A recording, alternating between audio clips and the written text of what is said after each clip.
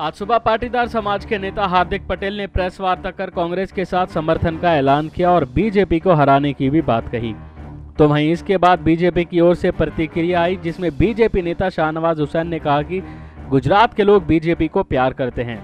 गुजरात में कोई भी आ जाए, बीजेपी को हरा नहीं सकते। इतना ही नहीं, उन्होंने कहा कि गुजरात में कांग्रेस किसी से भी प्रेस कॉन्फ्रेंस करा ले, लेकिन जीत नहीं सकते। कांग्रेस लोकसभा में ज़ीरो पर आउट हुई।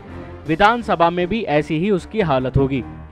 तो वहीं बीजेपी प्रवक्ता सिद्धार्थनाथ सिंह ने कहा कि हार्दिक पटेल और कांग्रेस दोनों ही खुद को बेहद कमज़ोर महसूस कर रहे हैं। इसलिए दोनों एक दूसरे की बी टीम के तौर पर काम कर रहे हैं और एक दूसरे के लिए बैसाखी बनने में लगे हुए हैं। आपको बता दें कि सिद्धार्थनाथ ने इलाहाबाद में कहा कि हार्दिक पटेल और बीजेपी के खुलकर साथ आने से भी गुजरात चुनाव के नतीजों में कोई बदलाव नहीं होगा। गुजरात की जनता पूरी तरह पीएम नरेंद्र मोदी के नाम व उनके काम पर यकीन करती है। एसपीएन नाइन न्यूज़ रूम की रिपोर्ट।